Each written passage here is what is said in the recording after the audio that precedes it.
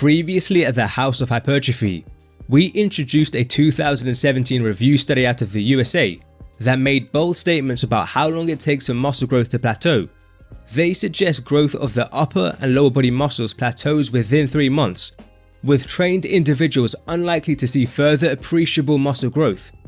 We noted how the experiments used to support these controversial conclusions had limitations. None of them mentioned and thus likely optimized nutritional factors such as calorie and protein intake, two things crucial for long-term muscle growth. And all of them, although applying progressive overload, had subjects train each muscle with only one exercise, involved no rep range variation, and no change in the number of sets performed. These are limitations as some exercise variety per muscle group may be beneficial for sustaining long-term gains, and growing more regions across a muscle. Moreover, some evidence suggests training with a variety of rep ranges could lead to more long-term muscle growth. Finally, increasing set numbers seems to be an effective way to potentiate muscle growth and get past plateaus in trained individuals. However, I still saw a few people in the comments dejected that there's evidence muscle growth may show plateau signs within 3 months, with some even saying this is why PEDs are useful. Needless to say, this is not what I wanted people to take away. I was trying to demonstrate that by optimizing your training, sustained long-term natural muscle growth is absolutely possible. Nonetheless, I've searched the literature even further and would like to share a few of my findings that I believe can be highly useful and informative for those wishing to develop their physiques. Moreover, all the upcoming data should make you rest assured natural muscle growth can progress for a long time. We'll be touching on factors such as body recomposition, sleep, individualization, and the power of the mind. This is going to be a fun one. Let's get into it. Before going further, a little about our sponsor, Atlas VPN. Chances are you love training, we all do, but recovery is important too. There's no better way to recover than relaxing and watching your favourite shows while downing a protein shake. But we all know streaming platforms restrict access to shows based on your location. Atlas VPN can help you out. A VPN encrypts your internet connection and allows you to relocate yourself. If a streaming platform only streams a show in a certain country, simply use Atlas VPN to relocate yourself to that country. Right now and not for very long, Atlas VPN is running a huge discount. You can get a 3 year subscription for just $1.83 a month plus 3 months for free with a 30 day money back guarantee. Atlas VPN also provides you with incredible security, blocking malicious links, ads, and trackers. Atlas VPN is compatible with all your devices. Again, you can get a 3 year subscription for just $1.83 a month, plus 3 months free with a 30 day money back guarantee. Link in the description. Thank you to Atlas VPN for supporting the House of Hypertrophy. Back to the video. In the previous video, I noted alongside protein intake, eating more calories to put you in a surplus leads to greater muscle growth in previously untrained and trained folks. The importance of a caloric surplus for maximizing muscle growth becomes greater the more trained you get. For one reason or another, many folks may not like a surplus due to the associated fat gain. Fortunately, the literature demonstrates that trained individuals can still experience good muscle mass gains with little to no fat accrual provided protein intake is in the recommended range of 1.6 to 2.2 grams per kilogram of body weight. A 2006 study out of Australia recruited trained men who bench pressed an average 84 kilograms and back squatted an average 80 kilograms. In other words, they skipped leg day. Subjects trained this program for 10 weeks. Subjects did not increase their calories versus before the study and were likely not in a surplus. One group of subjects supplemented with whey protein, while another group supplemented with casein. Both groups ultimately consumed around 2 to 2.2 grams of protein per kilogram of body weight daily. The whey supplement group saw a concurrent increase in lean mass with decreases in fat mass, while the casein group saw smaller increases in lean mass with little change in fat mass. This study seemingly indicates whey protein is superior to casein, yet I should note another study found both to be similar. Thus, the differences in this study could just be related to the small sample sizes.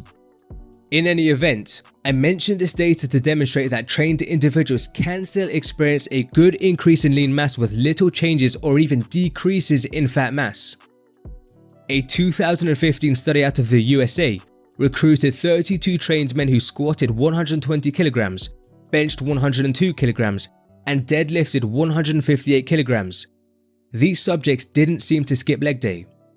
Subjects trained this program for four weeks, with one group supplementing some mixed ingredient supplement, while another group took a placebo. Unfortunately, calorie and protein intakes were not mentioned, but both the supplement and placebo group saw increases in lean mass with little changes in fat mass. The placebo group actually tended to lose fat. So again, this study demonstrates that trained individuals can see good increases in lean mass with little changes or decreases in fat mass. A 2018 study out of the USA recruited 28 trained men who squatted 138 kilograms, benched 103 kilograms, and deadlifted 163 kilograms. All subjects performed the same number of sets per week on their exercises, but one group trained their exercises with a frequency of 3 times per week, while another group trained their exercises with a frequency of 6 times per week. Calorie and protein intakes were unfortunately not mentioned, but both groups similarly increased fat-free mass. The greater gains for the 6 times group were non-significant, while fat decreased in the 3 times group with minimal changes in the 6 times group. Finally, a 2019 study out of Brazil recruited 23 trained men who bench pressed 103 kilograms and squatted 132 kilograms. One group trained with a bro split style routine, while another group trained with a full body routine. The number of sets performed on each exercise per week was the same between groups. Subjects were consuming what appeared to be maintenance calories, and they consumed around 1.9 grams of protein per kilogram of body weight daily. Ultimately, both groups similarly increased lean mass. Fat mass was not mentioned, but given subjects were eating around maintenance, fat mass gains are unlikely. So, these studies collectively demonstrate that trained individuals are capable of increasing lean mass with little to no fat changes, provided protein intake is sufficient. Moreover, as alluded to by some of the data, body recomposition, that is, increasing muscle while losing fat, is also possible in trained individuals. There's ample literature indicating body recomposition can occur in trained individuals. To set this up, you may do the following. Firstly, a caloric deficit is your surest bet to ensure fat loss, but too much of a deficit will impair lean mass gains. A recent 2021 meta-analysis indicates a 500 calorie deficit may be the point where lean mass gains cease when resistance training, so a deficit smaller than 500 calories is recommended. Secondly, ensuring adequate protein intake in the range of 1.6 to 2.2 grams per kilogram of body weight is likely required. Of course, the more and more trained you get, the more difficult it is to attain body recomposition. But so long as you're not super advanced and really close to your genetic ceiling, the literature overviewed convincingly demonstrates that trained individuals can see gains in muscle mass with little change or decreases in fat mass. As a final point for this section, Recall that the review study mentioned at the start of the video indicated trained individuals are unlikely to see further appreciable gains. Yet all the data we've overviewed in this section strongly oppose this. The trained individuals saw appreciable adaptations.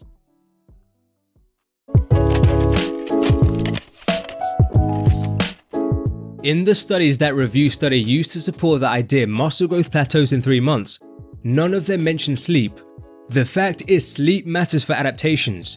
It may be even more important for adaptations if you're eating at a maintenance or a deficit. A 2018 study out of the USA recruited 36 individuals classed as obese and had them reduce their caloric intake by 29 to 43%. Group 1 slept as normal, sleeping around 6 to 7 hours per night. Group 2 slept 1 hour less than usual for 5 days a week this ended up in them sleeping 5 to 6 hours per night, while during the other 2 days of the week, they slept however long they wanted. This ended up being 7 to 8 hours of sleep. After 8 weeks, both groups lost similar body mass. However, Group 1 who slept normally lost way more fat mass than muscle mass, while Group 2 lost way more muscle mass than fat mass.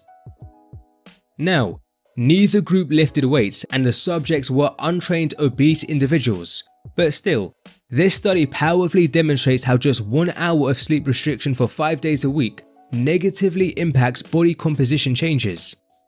Other research demonstrates sleep restriction lowers muscle protein synthesis, increases cortisol, a catabolic hormone, and lowers testosterone, an anabolic hormone. So ensuring you attain a sufficient quantity and quality of sleep is important for promoting long-term muscle and fat tissue alterations.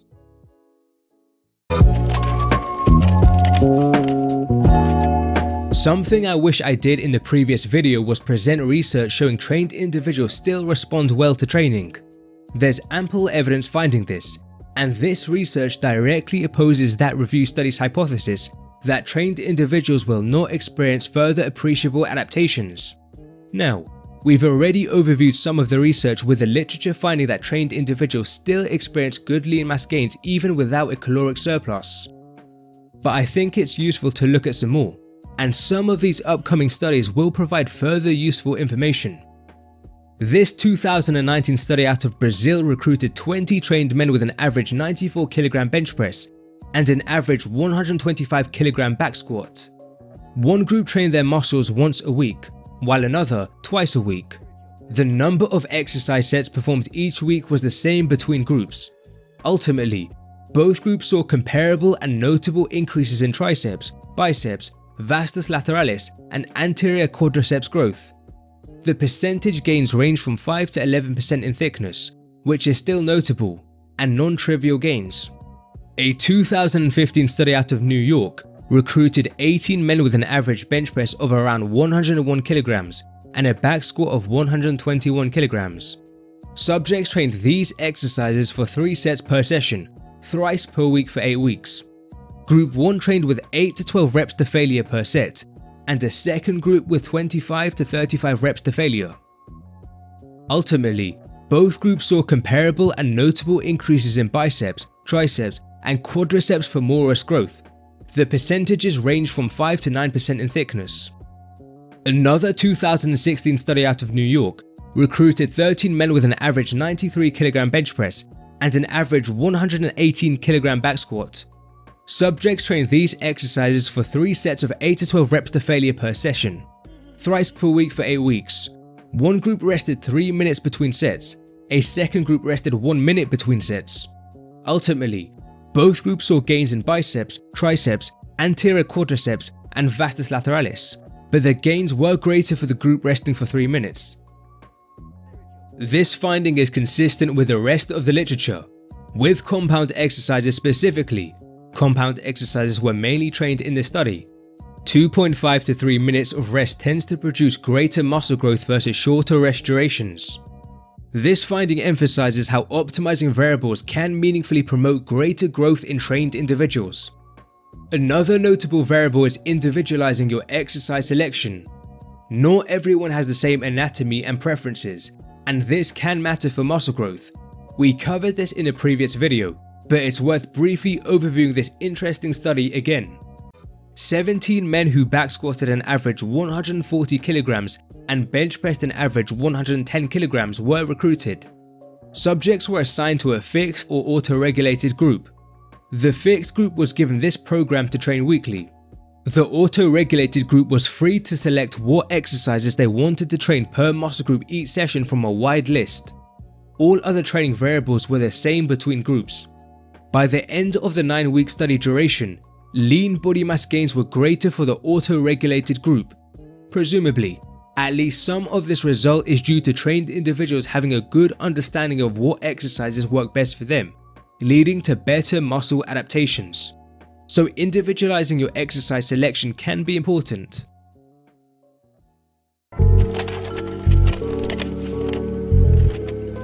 A seriously underrated aspect of progressing in anything, including muscle and strength, is your mindset. There's compelling research demonstrating the power your mind can have on your gains. I have a whole video on the research behind this, feel free to check that out. But to give you an idea, This study included powerlifters who benched an average 189 kilograms, squatted an average 257 kilograms, and deadlifted an average 260 kilograms, so these subjects were very very strong. Prior to testing 1 rep maxes again on these exercises, the researchers gave the powerlifters immediate acting steroids. However, the subjects were unaware it was not steroids at all, rather just a mere placebo pill. After taking the fake steroids, all subjects hit personal records. The subjects' 1 rep maxes were an average 9.5 kg higher on the bench press, 12.2 kilograms higher on the squat, and 10.9 kilograms higher on the deadlift versus baseline. Fascinatingly, the authors noted these performance increases represented a change from being nationally ranked to being internationally ranked for all subjects. These results demonstrate the potency of the mind. The subjects did not consume steroids, it was a placebo, meaning the added strength gains came from within the subjects, they held that capacity within them. Again, feel free to check out our whole video on the mind, but due to all this, I think it's essential for individuals to stay optimistic on their muscle and strength building journey. It's likely detrimental to have the mindset you're going to plateau or you can't progress much further. For the majority of the people watching this, this is probably not true anyway. I think it's best to establish a mindset believing you have more potential than you previously believed.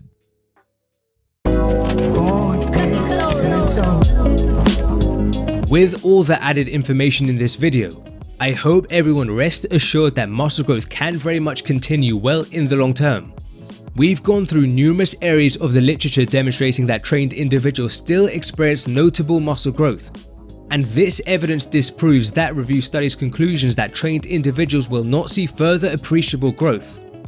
We've touched on how even in the absence of a caloric surplus, trained individuals can still see notable lean mass gains, we also noted the importance of sleep for muscle and fat mass alterations.